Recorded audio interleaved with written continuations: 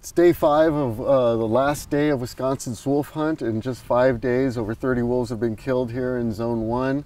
Uh, we're here in an area where we believe trappers to be active. We see some fresh wolf sign here. It's a good size print here, fairly fresh. It's been raining the last couple days, so we know that's fairly fresh. Uh, also some wolf uh, scat here. We can tell by the hair and the bone that's involved that that's not just somebody's bird dog, that that's actually probably wolf scat. So uh, this is an area we really believe that trappers might be setting traps, hunters might be coming.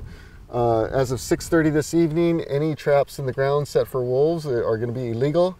Uh, so we're going to continue to patrol and keep an eye on things and hope that there's no illegal poaching of wolves going on.